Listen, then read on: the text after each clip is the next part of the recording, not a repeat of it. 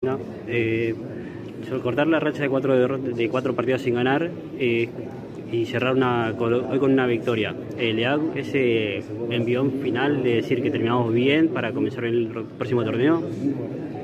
Sí, tal cual, había que cortar esa racha, que no podíamos ganar, que ya habíamos tenido buenos partidos, pero, pero bueno, no podíamos sumar esos tres puntos que, queríamos y creo que con, esta victoria cerrando la Copa de la Liga era importante eh, para todas las competencias, para todas las tablas, para, seguir sumando y sobre todo eh, para, para cortar esta racha que, de la cual vos hablás y bueno, llegar bien el partido de Copa Argentina también. Bueno, la última, eh, en este torneo pudieron ganarle a Boca y a Racing.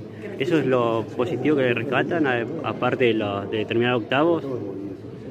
No, hay muchas cosas más positivas. creo que en todos los partidos competimos.